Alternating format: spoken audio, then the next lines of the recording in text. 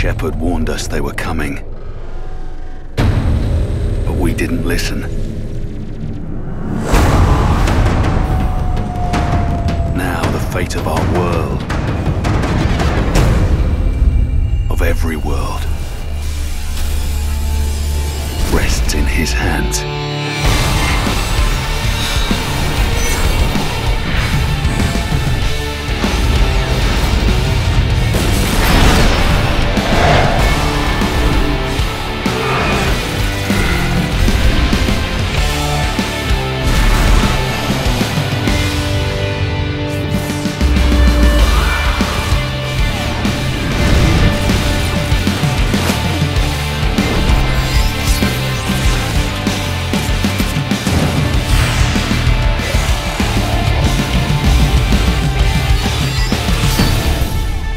We need a plan to stop them. We fight or we die. That's the plan.